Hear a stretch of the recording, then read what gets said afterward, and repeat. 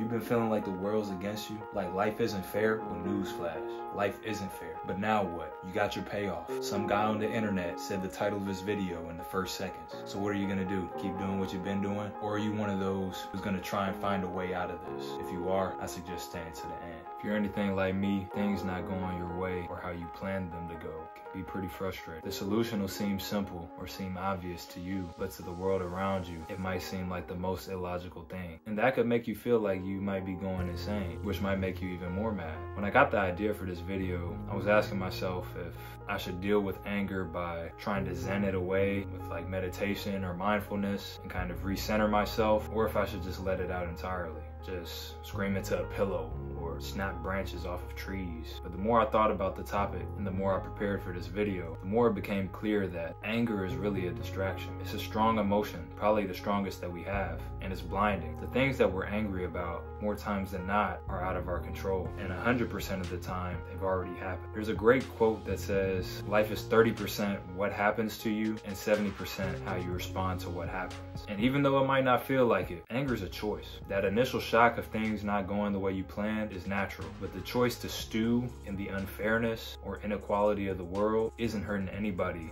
but yourself. So what should we do instead? Before I get to that, let's establish one thing for those of you who still are struggling to accept the fact that life isn't fair and that's okay. The inequalities of the world we live in are a simple byproduct of the fact that we're all different. We all have natural strengths and weaknesses.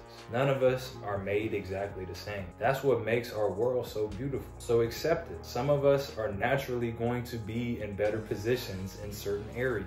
But it doesn't matter what cards you're dealt. It matters how you play the hands at your disposal. So how do we best do that? For me, the first step to getting out of a cycle is focusing on doing it once. Whatever mountain you're trying to climb right now, give yourself permission to fail as many times as possible. Because once you break that barrier once, you'll have the formula to doing it over and over again. And once you do it once, you'll always believe that you can do it. Give yourself permission to not believe. But once you do that, suspend that disbelief long enough for you to figure out how to make it happen. Think about the time when you were learning to ride a bike. At first, it seemed like a tall task. You couldn't balance, you're falling, you're scraping your knees, the training wheels have come off, and all of a sudden it's a different game. But when you first got it, when you first started riding on your own and felt the balance, that was a feeling you never forgot. And that's how we got the term, it's just like riding a bike. It's something that'll never leave you. And all of it stemmed from you having one successful experience. I'm sure if you look back at your life, at some of your best successes, all it took was doing it once. So my challenge to you is, what's one challenge that you can pursue doing once? Figure that out and go after it, no matter how many times you fail.